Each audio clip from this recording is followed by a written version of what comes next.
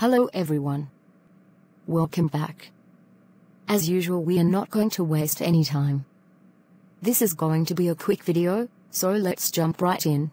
About 5 months ago, I tried the Triple Diet Max Accelerator supplements. The supplements consists of Garcinia cambogia, Caralluma, and Green Select, which isn't decaffeinated green tea extract.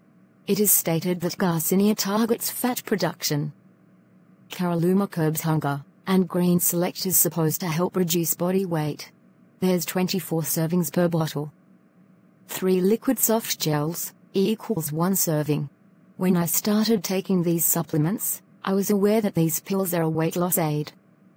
It will not make you lose weight just by taking these alone. Unfortunately these supplements didn't do anything for me. It didn't help me achieve my goals or curb my appetite.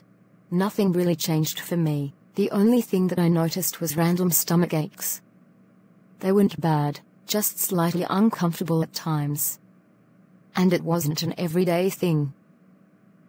Would I try these supplements again? No. I would not.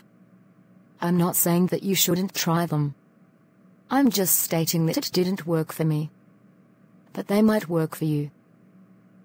I've seen a lot of positive reviews for these supplements, so they could work for you. They just didn't work for me.